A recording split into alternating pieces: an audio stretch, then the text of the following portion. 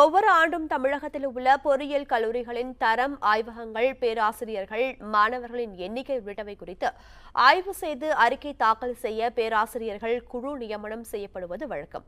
அந்த வகையில் இரண்டாயிரத்தி பத்தொன்பது இரண்டாயிரத்தி இருபது கல்வியாண்டில் நடைபெறும் முதல் ஆய்வில் ஐஐடி மற்றும் என்ஐடி பேராசிரியர்களை ஈடுபடுத்த அண்ணா பல்கலைக்கழகம் முடிவு செய்துள்ளது. இந்த ஆய்வானது மார்ச் முதல் வாரம் முதல் ஏப்ரல் இறுதி வாரம் வரை நடைபெறவுள்ளது. தகுதியான பொறியியல் கல்லூரிகளை கண்டறிதல் மற்றும் தரமான கல்வியை வழங்குதல் உள்ளிட்டவற்றுக்காக இந்த ஆய்வு நடத்தப்படுகிறது.